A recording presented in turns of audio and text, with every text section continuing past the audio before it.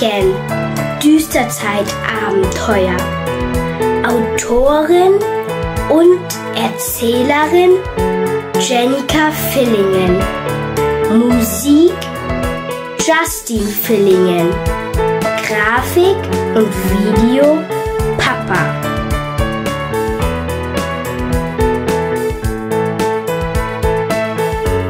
Es war einmal ein Mädchen namens Lara, das in einem kleinen Dorf namens Düsterzeit lebte. In Düsterzeit schien die Sonne nie richtig zu scheinen und die Menschen waren immer unglücklich. Alles um sie herum war in schwarz-weiß gehüllt, sogar die Blumen und Bäume. Lara sehnte sich nach Farbe und Freude, aber sie wusste nicht, wo sie sie finden konnte. Eines Tages traf sie auf Chili, eine kluge und abenteuerlustige Katze. Chili erzählte Lara von einem geheimen Ort, an dem ein Regenbogen versteckt sein sollte. Um dorthin zu gelangen, müsste sie zuerst einen gefährlichen großen Drachen besiegen. Mutig machten sich Lara und Chili auf den Weg.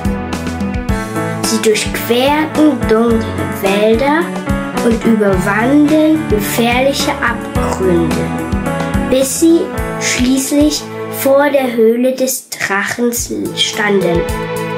Mit List und Mut gelang es ihnen, den Drachen zu besiegen.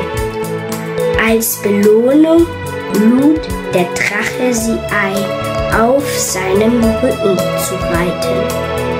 Sie flogen hoch über die Wolken und plötzlich sah Lara etwas Glitzerndes in der Ferne, den Regenbogen. Mit einem freudigen Lächeln sammelte sie die bunten Farben ein und verteilte sie überall in Düsterzeit. Von diesem Tag an war Düsterzeit nicht mehr düster. Die Menschen lächelten wieder.